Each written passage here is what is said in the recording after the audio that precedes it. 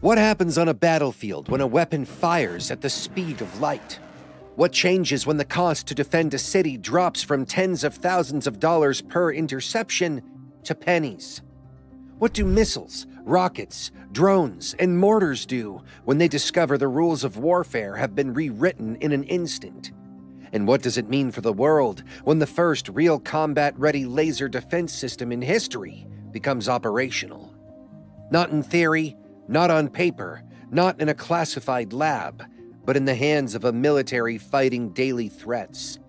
On December 30th, 2025, Israel's long awaited Iron Beam, known internally as Magen Or, Shield of Light, will officially enter service with the Israel Defense Forces.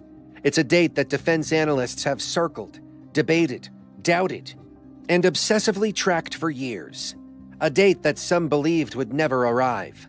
A date that the aerospace world quietly recognizes as the true beginning of directed energy warfare.